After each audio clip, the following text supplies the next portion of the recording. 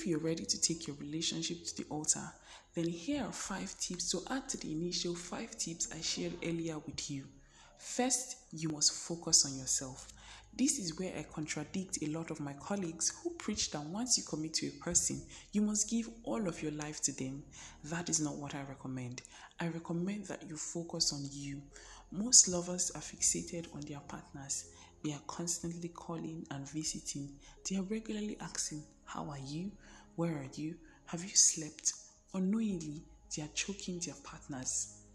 Come on, can you please focus on your dreams, goals, aspirations, purpose, assignment, and your personal development such that your partner begins to see you as an asset and say to himself, If I lose this one, I have lost a big meat. Now, this is not to say you don't care for your partner. You should. As a matter of fact, you must. But every day, let your gaze be more on your journey to awesomeness than on your monitoring of your partner. Get secured.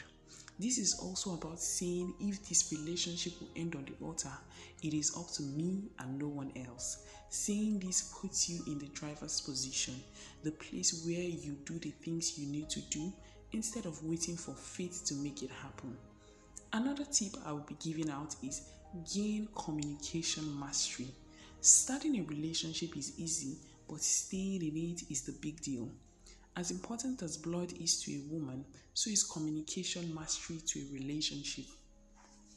Talking is not communication. This is the mistake many people make before getting their fingers burnt in relationships. Unfortunately, most people fail to learn. They repeat the same mistakes in multiple relationships and they continue to get heartbroken multiple times. A man and a woman are different in their communication. Each man is even different from the other. When you get to this process, you need to carefully study your partner as though you're studying for Cambridge exams. Note down every possible time your communication has been superb. Own it and duplicate it throughout your relationship. You'll be shocked at the magic. Gaining communication mastery is also building true friendship. Until this is done, the altar may be elusive. Now, another thing you must learn to do is serve. The moment you get to this level, you're making a commitment to give your all to ensure the success and greatness of another. Self centeredness is not allowed if you intend for your relationship to get to the altar. Whether you're a man or a woman, if you're not ready to become a servant and treat the person as a master, you're not ready for the altar. To serve is to be there for a person like no one else in the world. You will also need a love goal. Have you ever heard someone say, I don't even know why, I just keep loving her by the day? What happened is simple. The person is speaking their love language consciously or unconsciously.